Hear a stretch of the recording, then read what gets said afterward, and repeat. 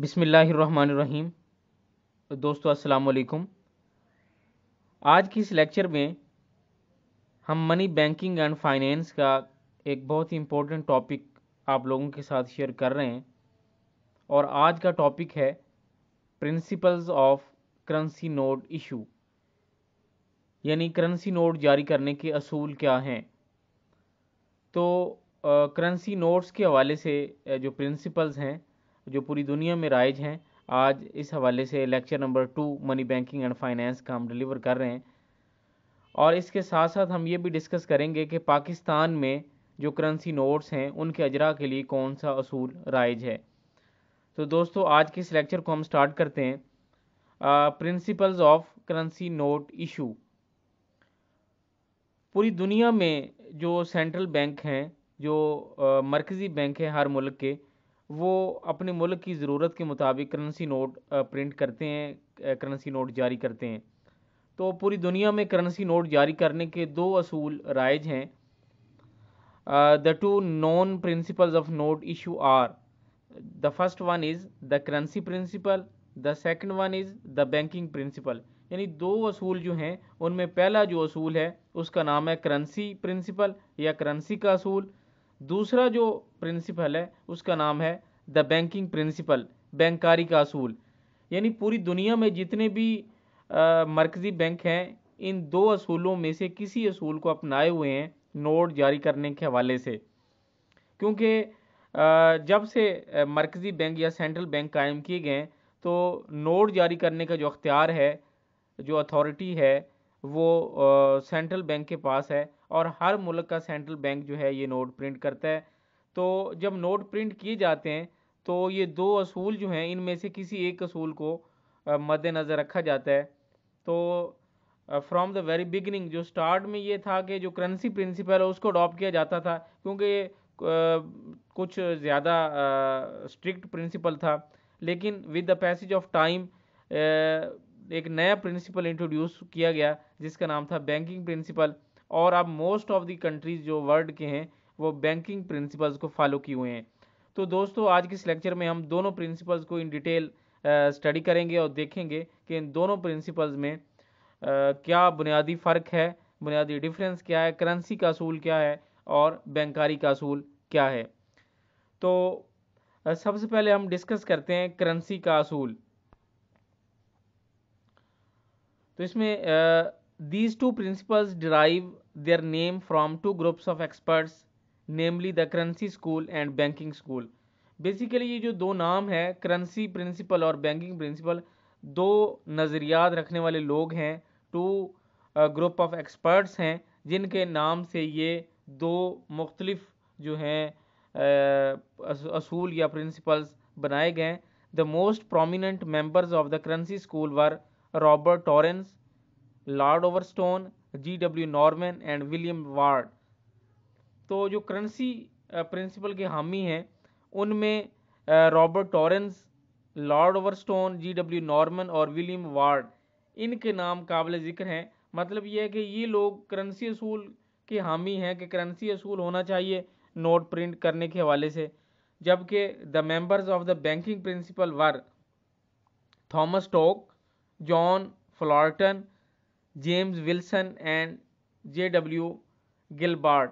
ये जो कुछ लोग हैं, ये हामी हैं बैंकिंग या बैंकारी असूल के, और इनका नज़रिया ये है कि जो सेंट्रल बैंक नोट प्रिंट करे, वो बैंकारी असूल को मद्देनज़र रख के करे।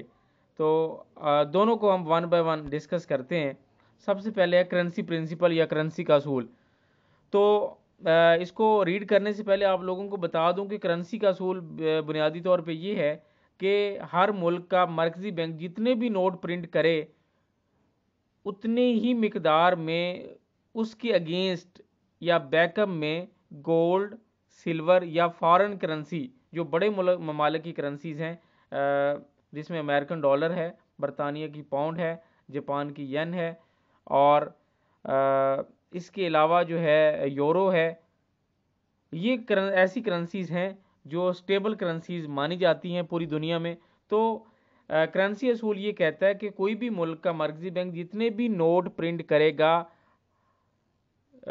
पर हंड्रेड हर सौ के बदले में हंड्रेड परसेंट गोल्ड रिजर्व्स जो हैं उसे मेंटेन करने पड़ेंगे।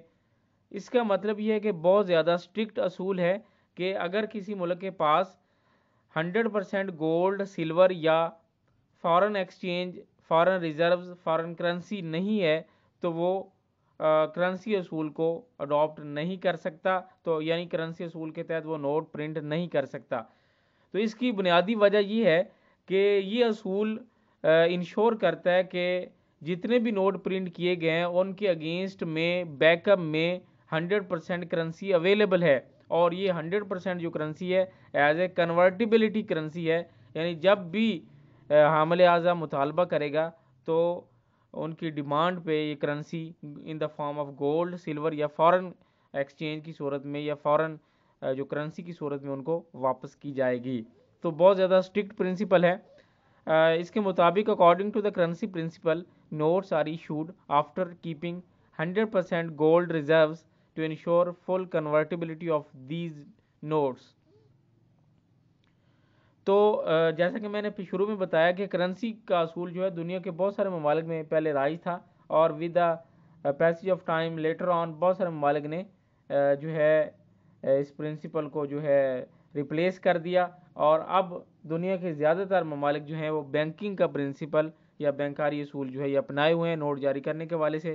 तो जो बैंकिंग प्रिंसिपल है ये थोड़ा लीनियंट है, थोड़ा उसकी नस्बत सॉफ्ट है या यू कैन से कि इसको ज़्यादा पजीराई मिली है करेंसी असूल की नस्बत। इसमें यह है कि किसी भी मुल्क का जो मरकजी बैंक जब नोट प्रिंट करता है तो उसमें हंड्रेड परसेंट गोल्ड सिल्वर या फॉरेन करेंसी को मेंटेन नहीं करना पड़ता।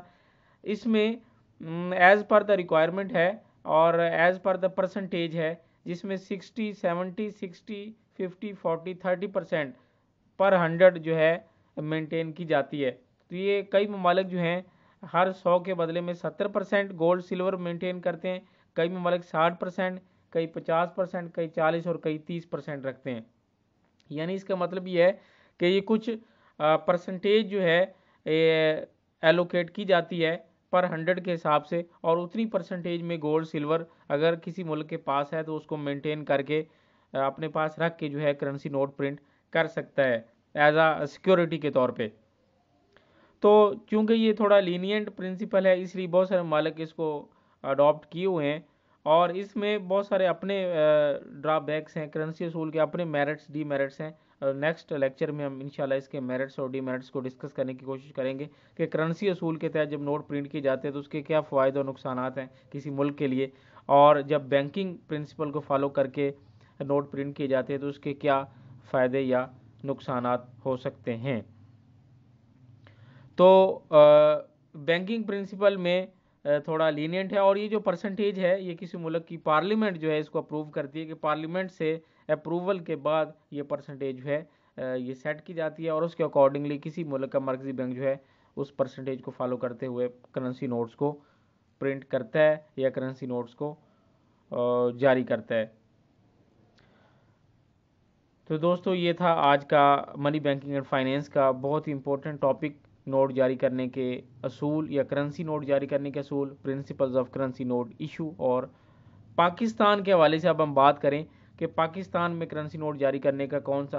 तो स्टार्ट में पाकिस्तान ने भी जिस तरह बाकी ममालिक में करेंसी प्रिंसिपल आई था, जब पाकिस्तान बना तो उस वक्त करेंसी असूल के तहत ही नोट प्रिंट किए जाते थे। लेकिन चूँकि पाकिस्तान की फाइनेंशियल पोजीशन शुरू से ही मुस्तकम नहीं है तो uh, 1965 की वार के बाद पाकिस्तान ने जो है बैंकिंग प्रिंसिपल को अडॉप्ट किया और अब तक बैंकिंग प्रिंसिपल को अडॉप्ट किए हुए है और ये परसेंटेज परसेंटेज अब ट्वेंटी टू थर्टी परसेंट है एवरी हंड्रेड। तो पाकिस्तान अपनी मुल्क की ज़रूरियात के मुताबिक जो है करेंसी नोट्स बैंकिंग प्रिंसिपल को फॉलो करते हुए प्रिंट करता है। तो दोस्तों आज का था ये लेक्चर। मज़ीद वीडियोस, न्यूज़, लेक्चर्स और अपडेट्स के लिए हमारे साथ रहें। देखते रहें हमारा channel. Thank you for watching. अल्लाह हाफिज़।